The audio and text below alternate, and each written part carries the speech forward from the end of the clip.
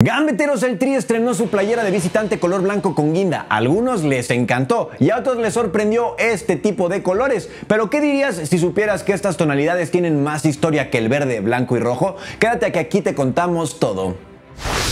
En las últimas horas se han hecho virales este tipo de tweets en donde supuestamente la nueva playera del Tri está inspirada en un partido político mexicano, ya que los colores son muy parecidos, pero no gameteros, la realidad es totalmente diferente.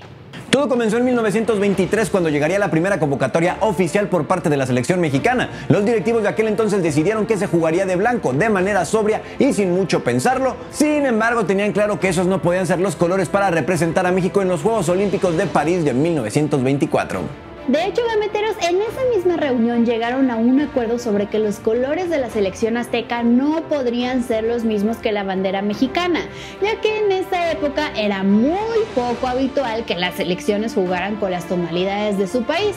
Por ejemplo, Uruguay utilizaba el verde, Brasil el blanco, Italia su típico azul y bueno, creo que ya lo entienden. Incluso Jesús Salgado, presidente de la Federación Mexicana de Fútbol, en privado habló con Rafael Garza, quien era conocido como récord y era el capitán del Tri, para pedirle su opinión sobre la primera piel de la selección mexicana. Sin dudas, eran otros tiempos gambeteros. Suena imposible que en la actualidad la marca que viste a la selección o la propia Federación de Fútbol le pida su opinión a algún jugador para darle el visto bueno a los colores o diseños de los jerseys. Entre todas las reuniones se llegó a una decisión definitiva.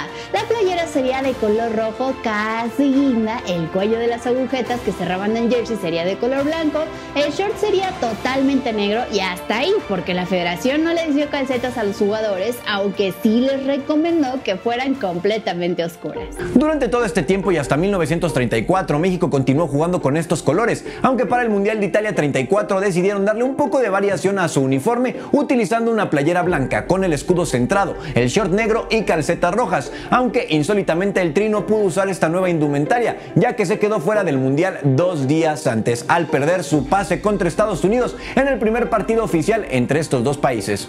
Regresando a los colores, la selección mexicana hizo oficial por años la playera en color guinda y lo único que cambiaba era el short, que en ocasiones era blanco, azul o negro. Sin embargo, en 1956 cambiaría la historia, ya que en los Juegos Panamericanos México tomó la decisión de dejar a un lado el color guinda con blanco para pasar a algo más nacional y patriota, escogiendo así por primera vez el color verde. Después, en el Mundial de 1958 en Suecia, este verde ya era del segundo uniforme. Con esa indumentaria México ganó su primer punto en un mundial al empatar 1 a 1 contra Gales. Así comenzó a agarrarle cariño a la hora tradicional verde. El que ya se había convertido en el jersey oficial del Tri pasó a ser el segundo uniforme para los mundiales de 1966 y 1970, alternándose con el blanco para ser el uniforme alternativo. Más recientemente, ¿cómo olvidar el uniforme guinda de visitante en el Mundial de Corea-Japón 2002 o la combinación blanco con guinda del 94?